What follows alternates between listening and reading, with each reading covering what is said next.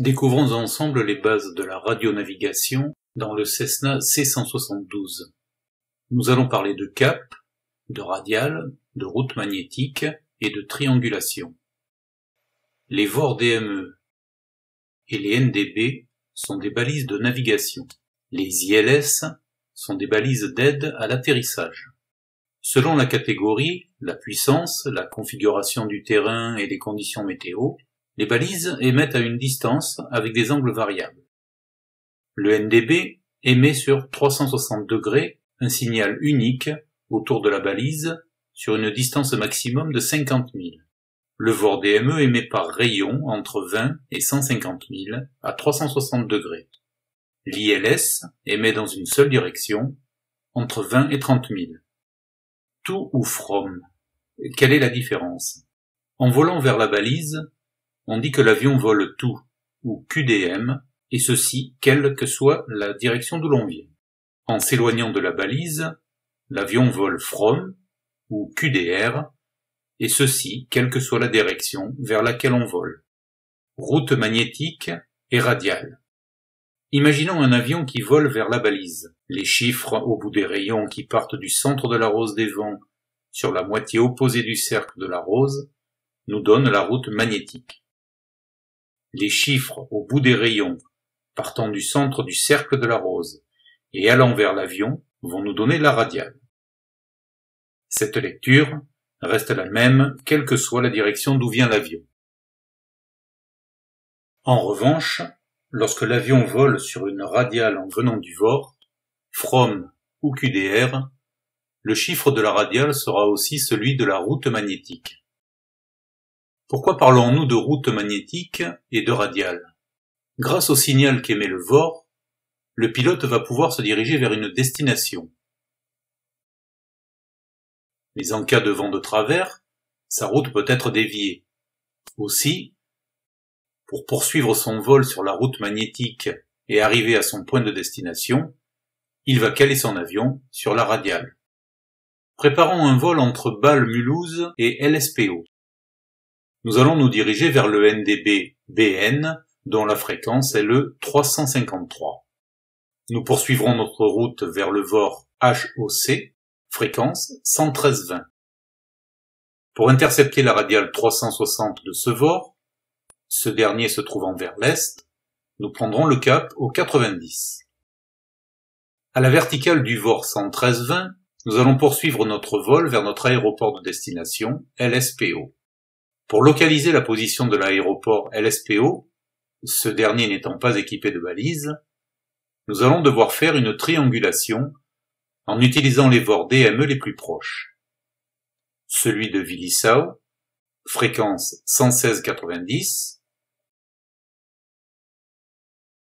celui de Grenchen, fréquence 115-45.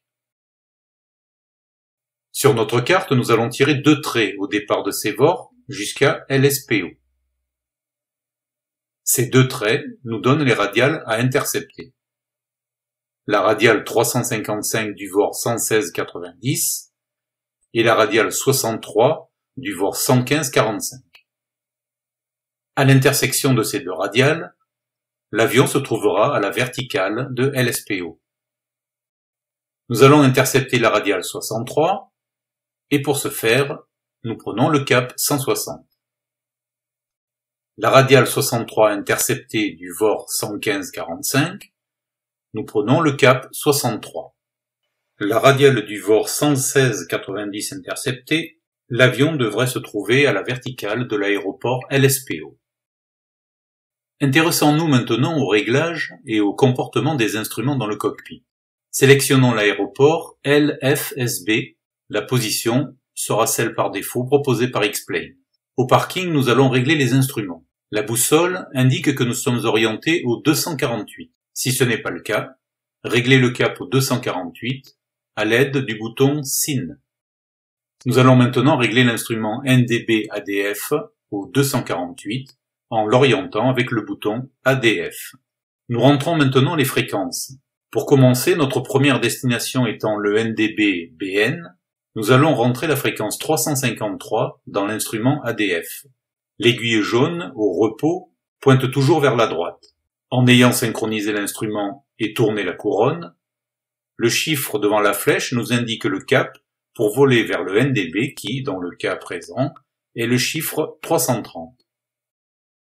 Pour survoler le NDB, nous allons donc devoir voler au cap 330. Sur le compas, nous plaçons notre marqueur au cap 330 à l'aide du bouton HDG. Double-cliquez sur l'écran central du Garmin pour l'agrandir. Pour pouvoir rejoindre le VOR Hochwald, nous entrons la fréquence 113.20 dans VOR 1. Nous réglons l'OPS 1 ou 180 pour intercepter la radiale 360 comme nous l'avons vu précédemment. Nous cliquons sur Actif. Nous allons maintenant préparer la triangulation du point de destination à la verticale de LSPO en entrant la fréquence 116.90 du VOR Grenchen. Dans NAV2, nous entrons la fréquence du VOR 115.45. Nous réglons l'OPS 2 sur la radiale 63. Les réglages étant maintenant effectués, nous allons nous rendre sur la piste 33. Pendant le roulage vers le point d'arrêt de la piste 33, nous constatons que la flèche jaune de l'instrument ADF pointe vers la direction où se trouve le NDB.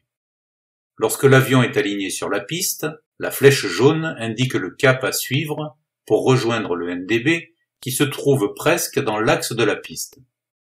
À la verticale du NDB, cette flèche jaune bascule vers l'arrière. Nous prenons le cap 90 pour intercepter la radiale 360 du VOR 113-20 et nous surveillons l'instrument NAV 1.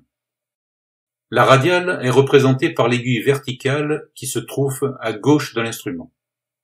Au fur et à mesure que l'avion se rapproche de la radiale 360 à intercepter, cette aiguille va se déplacer vers le centre du cadran.